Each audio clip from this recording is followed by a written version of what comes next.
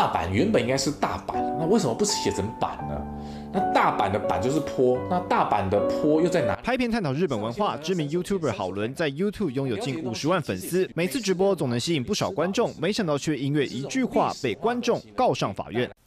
去年六月，一名观众在直播时写下“只能退订好伦”，离出道时会做影片到后期都做直播来说，已失去订阅好伦的初衷了。这句话惹毛好伦，当场在直播上辱骂《三字经》，没想到粉丝也动怒提告妨害名誉。他说：“如果我不想要劳民伤财的话呢，十万块愿不愿意和解？”那后来又到我跟他有在那个泸州的调解委员会有调解，他又从十万块变成说要十六万块。说这个金额，他只是比例原则，我觉得。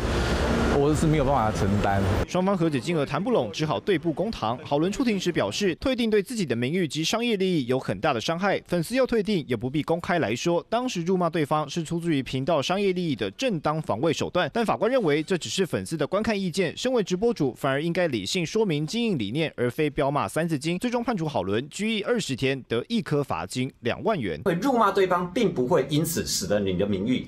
呃，获得回复，所以这是一个不相当的正当防卫手段。听到推定，沉不住气，对观众辱骂《三字经》，如今不止官司吞败，也被法官当庭上了一堂公关处理。三讯王一轩有涛台北报道。